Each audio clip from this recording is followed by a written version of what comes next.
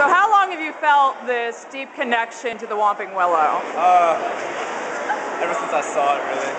And, Did it uh, just you felt something in your heart like I know what he's going through? Uh, yeah. Especially when he nearly killed Harry and Ron, like I'd have beaten the hell out of that car too. Yeah, something like that. All right. All right, what are you looking forward to tonight besides? Oh, Oh yeah. Like a lot of Arbor Day commentary, a lot of Uh. Let's get my womp on, really. Hopefully they do some recycling in the epilogue to make up for it, and the whole what the ever loving hell factor.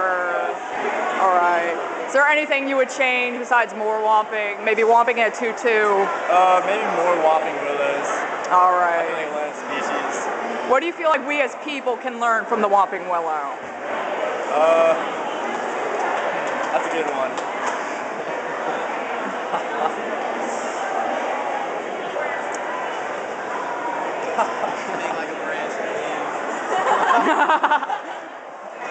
But really, the better question is, what is truly better, pie or ice cream cake? Ice cream ice cream cake.